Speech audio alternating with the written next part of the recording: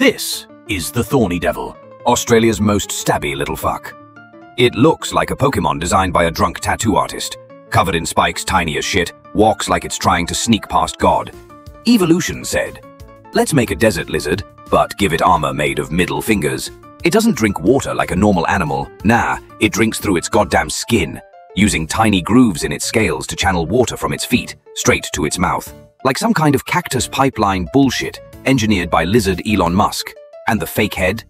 That lumpy thing on the back of its neck, that's not a tumor, it's a decoy head. When predators go for the kill, this prick just ducks and tanks the hit with its backup skull. Also, it eats ants.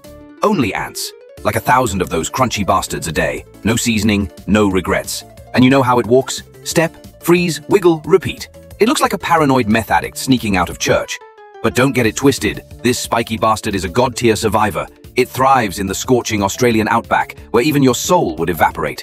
Nature looked at a pine cone, a tank, and an anxiety attack and said, let's mix them and give it legs. This is the thorny devil. He's sharp, he's weird, and he doesn't give a fuck.